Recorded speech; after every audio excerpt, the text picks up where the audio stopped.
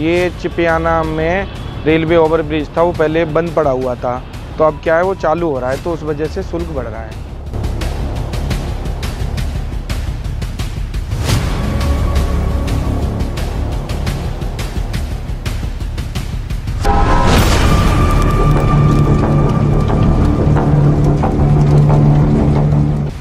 उत्तर प्रदेश के जनपद हापुड़ के पिलखुआ कोतवाली क्षेत्र के नेशनल हाईवे 9 पर संचालित छेजारसी टोल टैक्स पर आज मध्य रात्रि 12 बजे से टोल की दरों को 10 प्रतिशत लगभग बढ़ाया जा रहा है।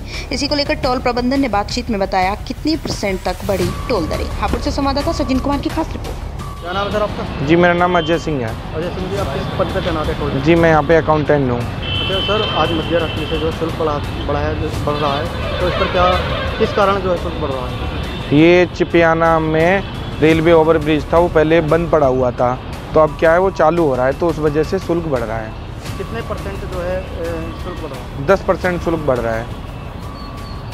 अच्छा शुल्क बढ़ने के बाद कितनी समस्याओं का आप लोगों को सामना करना? देखो समस्याएँ तो थोड़ी बहुत रहेंगी लोग बाग पूछेंगे एकदम अचानक ऐसे कैसे बढ़ गया है तो इसके लिए हमने न्यूज़ चैनल में और अखबार में सभी लोगों को बता दिया गया है। कि कई बार ड्राइवर ऐसे आ जाते हैं कि जिनकी जो उनको पैसे दे के भेज दिया जाता है। तो क्या ऐसे में जो है वो निकल पाएँगे? वो फास्टैग से पैसा करता है तो वो ऑनलाइन रेट के हिसाब से ऑटोमेटिक डिडक्ट हो जाएगा।